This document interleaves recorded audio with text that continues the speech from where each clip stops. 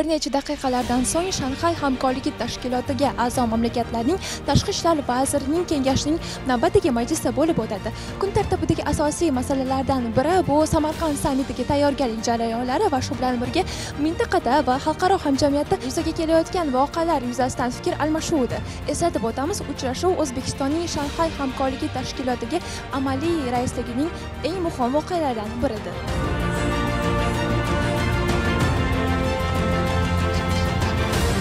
伤害 hamkorlik tashkilotining tashqi ishlar vazirlari kengashi yig'ilishida hindiston qozog'iston qirg'iziston pokiston rossiya xitoy va tojikiston tashqi ishlar vazirlari ham ishtirok etdi.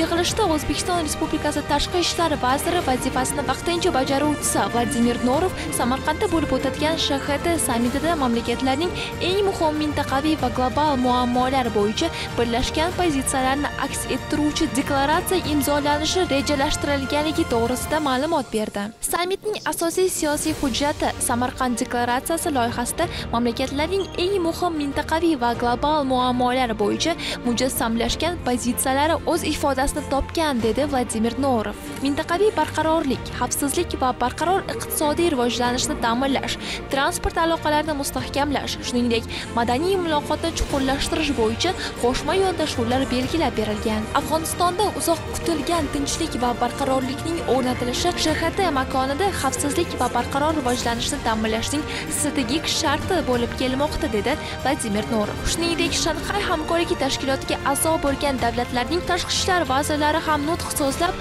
dunyoda xususan markaziy osiyo mintaqasida yuz berayotgan voqealar yuzasidan fikr mulohazalarini bildirishdi. O'z takliflarini ham ilgari surishdi. Xususan pokiston tashqi ishlar vaziri bilaval bhuta zardoriy pokiston trans afg'on temir yo'li loyihasi ustida faol ishlamoqda qilmoqda ekanligini aytib o'tdi. Uning so'zlariga ko'ra bu markaziy osiyo mamlakatlarini pokiston dengiz portlariga o'ta muhim chiqish yo'li bilan shanxay mintaqasi bilan tabiiy yuk tashish aloqasini ta'minlaydi. Shanxay hamkorlik tashkiloti davlatlari tashqi ishlar vazirlari bahrayn va maldiv orollarining tashkilotiga muloqot bo'yicha hamkor maqomiga ega bo'lish haqidagi arizasini ham ma'qullashdi.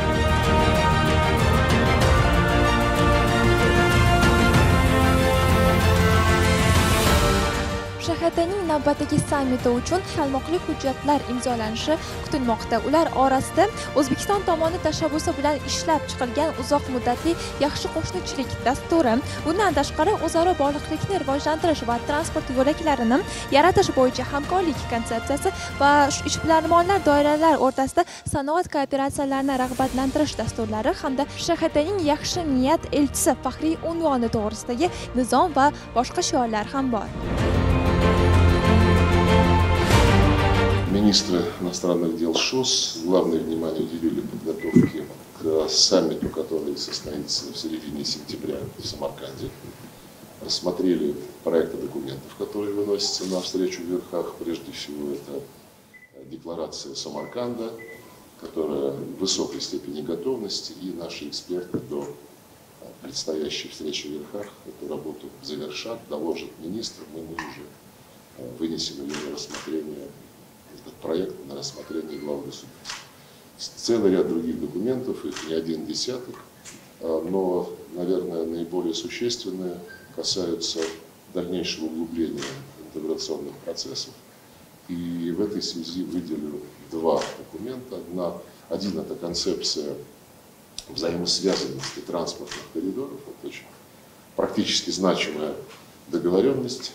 И второй документ тоже имеет очень важное значение для нашей дальнейшей работы – это дорожная карта расширения использования национальных валют во взаимных расчетах. А по экономическим направлениям подготовлены проекты и по а, энергетике, цифровизации, транспорту, связи, инновациям, новым технологиям, здравоохранения – и также большой пакет гуманитарных инициатив, это и культура, и спорт. Планируется проводить спортивные игры ШОС. Решено ввести с этого года новый институт «Послы доброй воли ШОС», которые будут а, пропагандировать, популяризировать нашу организацию. Shundan so'ng mamlakatlar tashqi ishlar vazirlari ommaviy axborot vositalari uchun tashkillashtirilgan matbuot anjumanida ishtirok etishdi. Vazirlar jurnalist va blogerlarni qiziqtirgan barcha savollarga javob berdilar.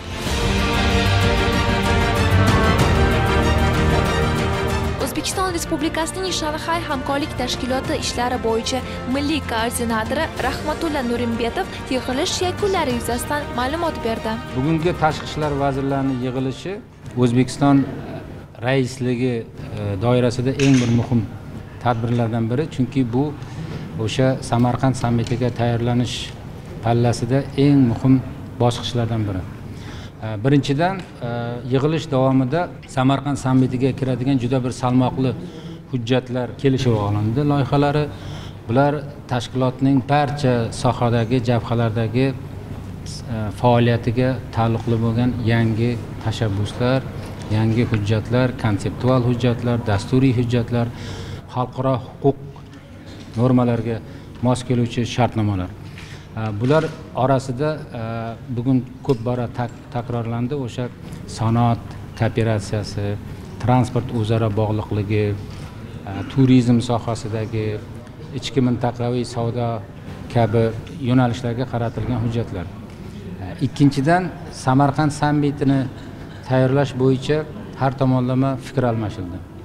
Ya'ni ishtirokchilar yuzasidan nafaqat o'sha shu sakkizta davlat yetakchilari balki kuzatuvchi davlatlar mehmon davlatlar qator xalqaro tashkilotlar rahbarlarining kelishi bo'yicha o'sha xalqaro tashkilotlar bilan shanxay hamkorlik tashkiloti o'rtasidagi yangi memorandumlar bo'yicha ham kelishuvlarga erishildi. Tadbirni keng yoritish uchun bir qator xorijiy mamlakatlarning ommaviy axborot vositalari vakillari ham ishtirok etishmoqda. Oldimda звезда telekanalining muxbiri e, kristina turibdilar va ularga hozir bir nechta savollar bilan yuzlanamiz. Здравствуйте кристина рада вас видеть в узбекистане. Да, очень. Как я рада оказаться здесь. Интересно узнать ваше впечатление об Узбекистане и о сегодняшнем мероприятии. Узбекистан порадовал своей жарой, как известно, что Ташкент – это символ такого изнуряющего зноя, но на самом деле лично я жару вашу переношу просто прекрасно. Это, видимо, связано с тем, что сухой климат. Поэтому в плане климата меня все устраивает. Первая точка э, в Ташкенте, куда я попала, это, конечно же, местная телебашня, откуда открывается замечательный вид на город. Уходить мы оттуда не хотели потому что смотришь и действительно завораживающее зрелище. Красивый очень город, мы рады, что здесь побывали. По поводу организации, все отлично организовано, мне есть чем сравнить, поверьте, э, у вас достаточно все на не то, что на достаточно, а на высоком уровне. А какие условия именно для представителей СМИ организованы, созданы здесь? Ну, вы не поверите, в некоторых странах а в пресс-центре даже иногда не бывает интернета. А вы сами понимаете, для нас, журналистов, когда нужно очень оперативно передавать информацию, это просто ну, работа, считай, встала. Здесь интернет работает, чай, кофе для журналистов, что тоже очень приятно, вода. То есть э, э, спасибо большое за организацию, потому что действительно и самое главное, чтобы была связь.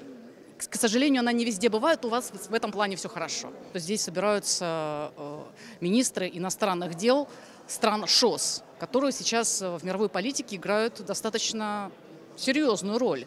И тем более, как мы знаем, на этом заседании участники, ну, наши дипломаты будут, так скажем, подготавливать почту, почву для грядущего саммита в сентябре, который тоже пройдет в Узбекистане, ну, в частности, уже в Самарканде, куда приедут уже главы государств, э, стран ШОС. И, безусловно, Насколько я знаю, одно из предложений – это даже пригласить принца Саудовской Аравии в качестве гостя специального на грядущий саммит. Я считаю, это очень интересно и для зрителей в том числе. Shanxay hamkorligi tashkilotiga a'zo davlatlar tashqi ishlar vazirlari uchrashuvi yakunlari bo'yicha mavjud mintaqaviy va xalqaro muammolarni hal qilishda blok va konfrontatsion yondashuvlarni istisno qilgan holda shxt liniyasini jahon miqyosida mustahkamlash bo'yicha umumiy niyat tasdiqlandi. O'zbekiston sentyabr oyida bo'lib o'tadigan samarqand sammitiga tayyorgarlik jarayonlarini ancha oldin boshlab yuborgan. Samarqand sammiti ham yuqori darajada o'tishiga ishonib qolamiz.